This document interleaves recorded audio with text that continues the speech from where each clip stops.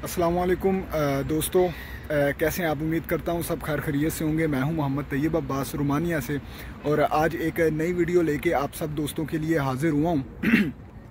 आज की वीडियो का जो टॉपिक है वो यकीनन आपने थंबनेल से भी देख लिया होगा, ठीक है? आज मैं टीआरसी कार्ड के ऊपर थोड़ी सी बात करने की कोशिश करूँगा। तो कोशिश करूँगा जो आपके काम की बातें सिर्फ़ वो करके आपका ज़्यादा टाइम नहीं लूँगा, ठीक है? और शुक्रिया आपकी मोहब्बतों का, आपकी चाहतों का, अल्लाह पाक आपको सलामत रखे और आप सबके लिए आसानियाँ पैदा करें, ठीक है? तो बहुत से दोस्त पूछते हैं कि यार अगर कंपनी हमारा टीआरसी कार्ड रोमेनिया का ना बना कर दे तो उसका क्या सीन हो सकता है? ठीक है?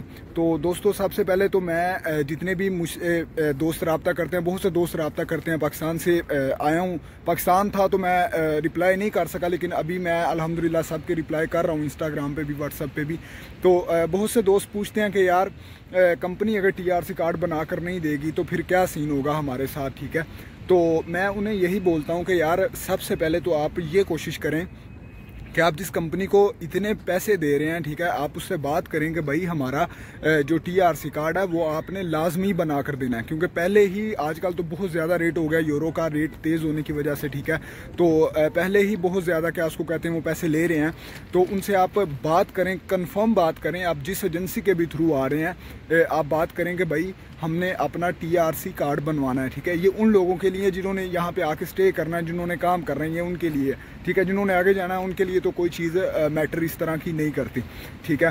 तो यहाँ पर आप आते हैं जब तो यहाँ पर आपने सबसे पहले जब आपका वहाँ पे वीज़ा लगता है तो आपने ये कोशिश करनी है कि जो आपका वीज़ा है सर वो आप कोशिश करें कि वीज़ा लगने के बाद आप जितना जल्दी हो सकें, आप रोमेनिया में इंटर हो जाएँ, ठीक है? तो यहाँ पे जब आपने आना है, कंपनी में आपने आके काम करना है तो आपने देखना दो, चार दिन, छः दिन, अगर तो आपका ये टी आर सी कार्ड जमा करवाते हैं तो ठीक है। अगर नहीं करवाते तो आपने खुद इनके साथ बात करनी है कि भाई हमारा टी आर सी कार्ड जमा करवाएँ, ठीक है? तो फिर अगर तो वो आपको कहते हैं कि भाई हमने आपकी फ़ाइल वगैरह जमा करवाई हुई है, आपको कुछ लगता है कि भाई हाँ वाकई हमारी फ़ाइल जमा हुई है तो फिर तो ठीक है। अगर नहीं लगता तो फिर आपने मज़ीद को तकरीबन हफ़्ता, डेढ़ हफ़्ता और इंतज़ार करने के बाद अगर आपको कोई चांस नज़र ना आए तो फिर दोस्तों आपने इनसे बात करनी है कि भाई देखें, अगर तो आपने कार्ड इस तरह बनाना है तो ठीक है। अगर नहीं बनाना तो भाई आप ऐसा करें, आप हमसे पैसे ले लें, जो कार्ड का थोड़ा बहुत खर्चा आता है, ठीक है, डेढ़ सौ, दो सौ यूरो जो खर्चा आता है, वो आप हमसे ले लें। लेकिन यह है कि हमारा कार्ड बना दें, ठीक है? तो फिर देख लें, बात करके ओपनली बात करें, पीछे जिस जिस एजेंट के थ्रू आप आते हैं, उसके साथ पीछे बात करें। तो फिर भी अगर कंपनी आपका, क्या उसको कहते हैं टीआरसी कार्ड नहीं बनाती तो फिर आपने ज़्यादा जो है वो इंतज़ार नहीं करना, ठीक है? क्योंकि वीज़ा जब बंदा यहाँ पे आता है तो उसके बाद इसमें तकरीबन जो 100 परसेंट बात है, आपने मुझे भी शोर कर देना जिस बंदे को अगर ज़्यादा नॉलेज हो।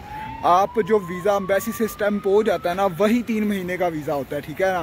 कुछ लोग ये समझते हैं कि यार शायद जो जब रोमेनिया में इंटर होना है तो उसके ऊपर जो स्टैंप लगेगी, वहाँ से तीन महीने स्टार्ट होंगे, ठीक है? तो जो रोमेनिया अम्बेसी वाले हैं, वो ये नहीं देखते, ठीक है ना? वो कहते हैं कि नहीं जी भाई, जब वीज़ा स्टैंप हुआ था, वही हमारा वहाँ से ही आपका वीज़ा स्टार्ट हुआ है, ठीक हो गया। तो आपने अगर वो कंपनी पैसे आपके देने के बावजूद भी वो नहीं बनाती तो फिर भाई आपने यहाँ पे किसी और एजेंसी के पास जाना है, आपने काम ढूंढना है। यहाँ पे बहुत सी एजेंसीज हैं जो काम करती हैं, ठीक है, जो जॉब वगैरह देती हैं। अगर तो आपके पास कोई हुनर वगैरह होगा तो वो बेहतरीन है। वैसे भी है कि हुनर के बगैर भी जॉब मिल जाती हैं। तो एजेंसीज के नंबर, जब आप, बंदा यहाँ पे आता तो बहुत से लोगों को एजेंसीज के नंबर मिल जाते हैं। मेरे पास भी एक दो के हैं, ठीक है तो वो भी, जो बंदा यहाँ पे आ जाए, जिसको मुश्किल हो तो वो मैसेज करे, उसे मैं सेंड कर दूँगा, ठीक है। ये नहीं कि बंदा पाकिस्तान बैठा हुआ है और वो मुझसे एजेंसी का नंबर मांगने लग पड़े, ठीक है? तो यहाँ पे बहुत सी एजेंसीज हैं जो काम लगवाती हैं। आप उनसे रबता कर सकते हैं। बहुत से लोग हैं यहाँ पे जो इस तरह का काम करते हैं। तो फिर यहाँ वैसे ही है कि डायरेक्ट आपको अगर किसी कंपनी में जॉब मिल जाती है, किसी एजेंसी के पास जाएँ, एजेंसी वाले पैसे लेंगे थोड़े से आपसे, ठीक है? अगर डायरेक्ट आप जॉब सर्च करें, ठीक है? आप गूगल पे भी यहाँ पे आके आप ओ एल एक्स पे जॉब सर्च कर सकते हैं।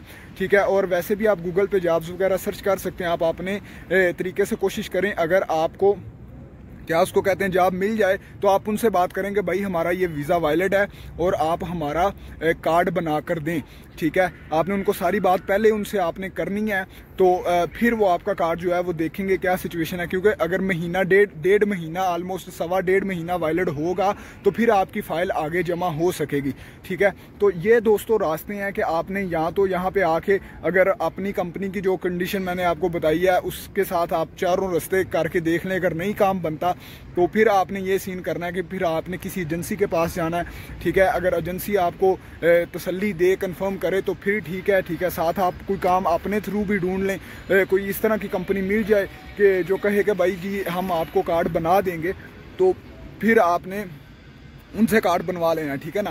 तो अगर बिल्कुल भी कार्ड ना बने, कहीं किसी जगह से भी ना बने तो फिर यह है कि जब आपको इमिग्रेशन पकड़ लेगी तो वो फिर आपको कंट्री आउट का ही पेपर देती है, फिर उसके अलावा आपके उनके पास और कोई हल नहीं होता। और यहाँ पे ऐसा कोई सीन नहीं है कि आप आएँ और डायरेक्ट आप जाएँ, उसके अंदर आप एजेंसी के रोमेनिया एम्बेसी के अंदर जाएँ, वो आपको कार्ड बना कर देंगे।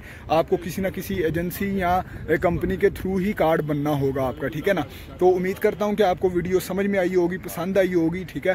तो भी बहुत सी काम की वीडियो हैं जो चैनल पर मौजूद है। अगर आप देखना चाहें और चैनल पर नए हैं तो सब्सक्राइब कर दीजिएगा, नीचे फेसबुक पेज का लिंक है, उसको भी लाइक फॉलो कर लीजिएगा, ठीक है? अगर आपका दिल माने तो। आपकी मोहब्बतों का शुक्रिया। अपना ख्याल रखिएगा। मिलते हैं एक और नई वीडियो के साथ, एक नए वेलाग के साथ। अल्लाह हाफिज़।